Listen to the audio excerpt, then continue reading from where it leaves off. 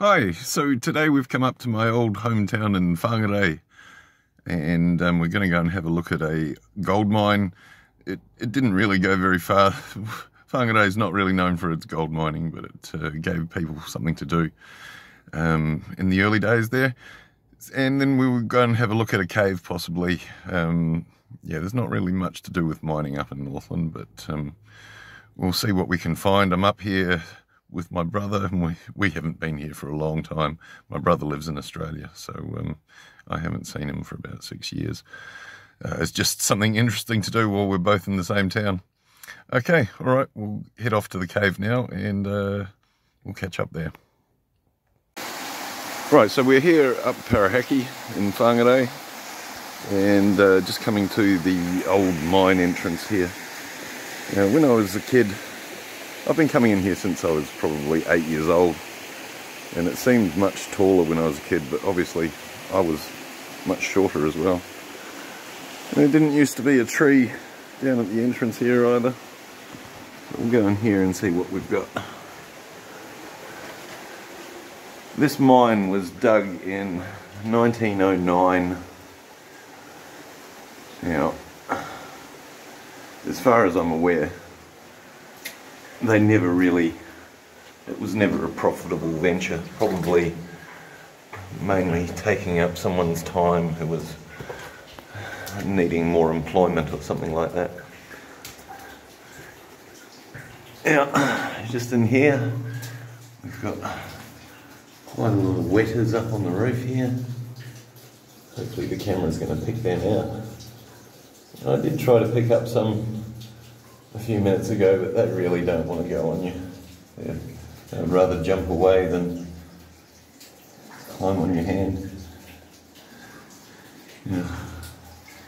Down here in the past, this particular off to the right here, I came in here once and there were plastic buckets all down the end. So someone had been having a go at it, you know, seeing what what what they can get out of here. And I reckon perhaps the camera can pick up the slight at the end of the tunnel here. It's a bit darker, and I think that's what they've dug away where this stream is coming out. I find it hard to believe that it was worthwhile doing, but I suppose good on them for seeing what's there, seeing what's in this country. If I look up here, there's a little pocket that I can see some quartz in, so I reckon that's what they've gone into there. It's um, probably not the most encouraging sort of sign, but you know, interesting if you've got some way of processing it. It's illegal, you're not allowed to do it prospecting, mining, anywhere in the North Island. Unless you're a big mining company that can get past all the regulations, it's not going to happen. And even if you are a big mining company, uh, getting past environmental issues groups is another thing that is very difficult in this country. For good reason. Um, miners left a hell of a mess in the past.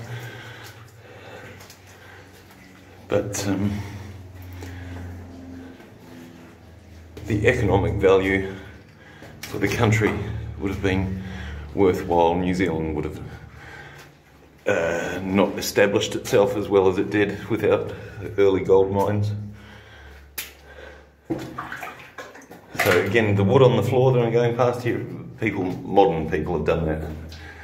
I believe they would have come down here and I can see at the end here there's a, a darker patch where they've been, I don't know how they would have got it out. I don't think, it must have been dynamite because I can't see pick marks on the wall anywhere. Right down the end here, got some good sized wetas on the wall. Yeah, they just don't want to go on me at all. But um, yeah, I'm not freaked out by them anymore. It's grasshoppers. And someone's been digging away in the pocket down here. Wow, they got quite keen. It's quite deep in, deep inside there. Um, Yeah, but I don't really see what they were looking for. No obvious vein of quartz in this particular section of the mine. So we'll turn around here and go back down and see what's further along. Bit of graffiti in here. I mean, this is very easily accessible from town, even just walking. Looks like they've dug in here as well. Again, there's perhaps a bit of brecciated quartz. Nothing very spectacular.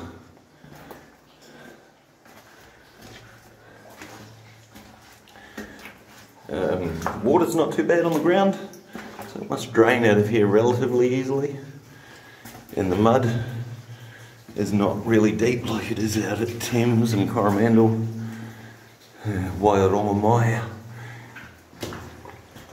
And we're coming down here towards the end of the mine, and it does curve around here to the left slightly. But I don't know think it goes heck of a lot further.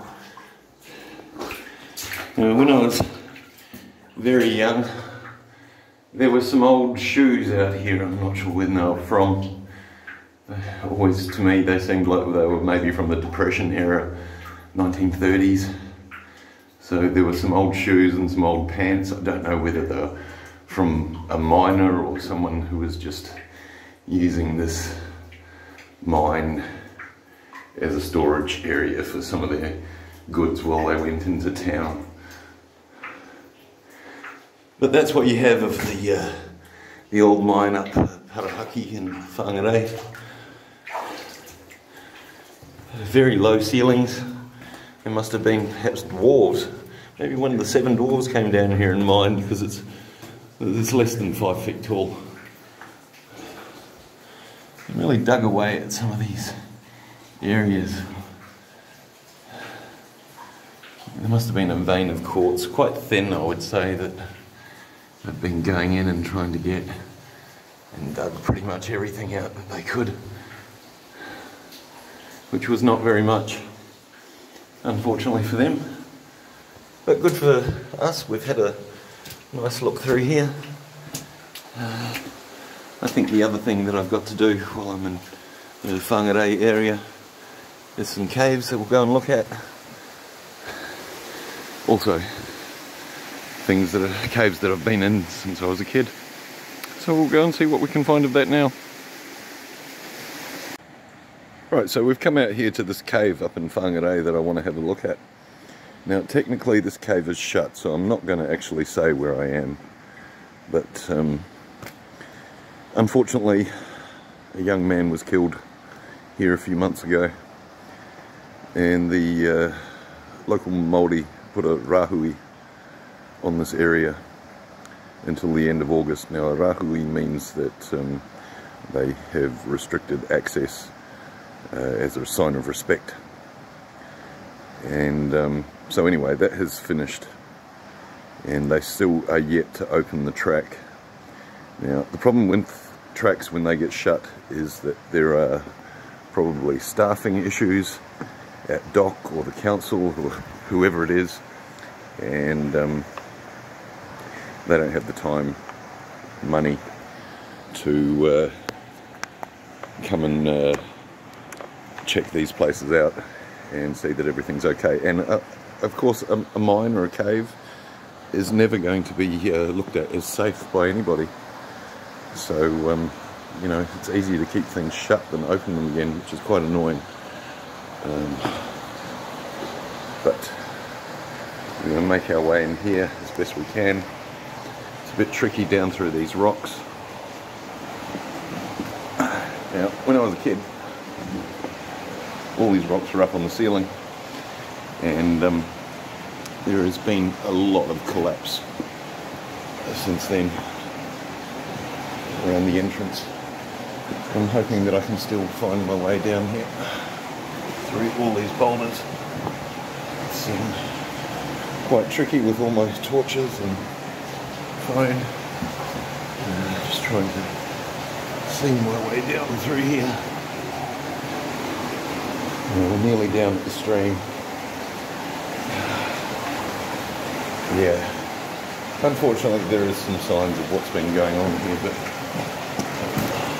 let's not focus on those. Here we are. So, we've got a stream running through the bottom of the cave here. And sometimes the stream is very high and in places it's likely to be waist high or more. Um, the water depth. We'll get through here and see see how it is at the moment. There hasn't been there's been some rain recently, but not not a huge amount.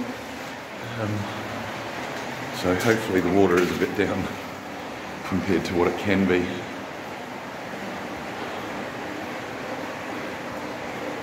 we see some stalactite features coming down.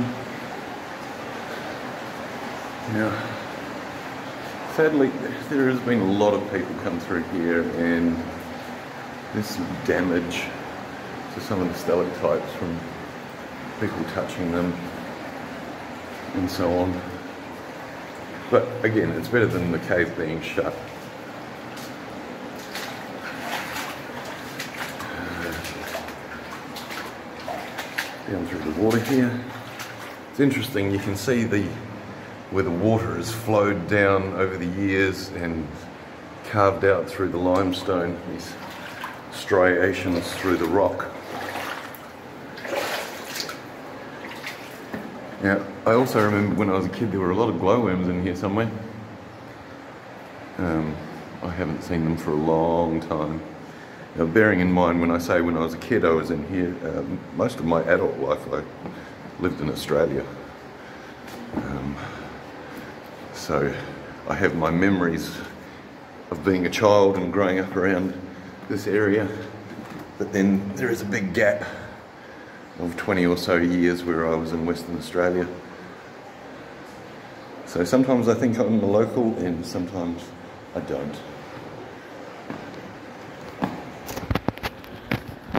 Your memories as a child are a lot different from things I might have done had I been older and living here. Um, it's finding it a bit tricky to get past this rock here. I might have to hold my phone like that, which is a bit dumb. Just let me get down here and I'll get a better purchase on uh, rocks and things where I can stand. Oh my goodness, what am I doing? My foot's jammed. All right, back in. Okay, so through the stream here. At the moment, the water is maybe maybe a foot deep, something like that. So I'll just climb through here and over some more boulders.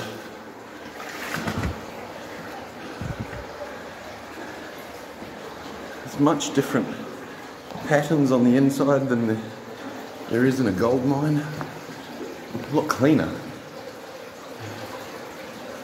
Not so much oxidation in the rocks. Well, that's probably because it's all limestone and um, limestone doesn't rust like the sulfides do in the um, gold areas. Oh, that's just full of water. Very deep water. Um, yeah, there's no way around that. And to be honest, I can't be bothered.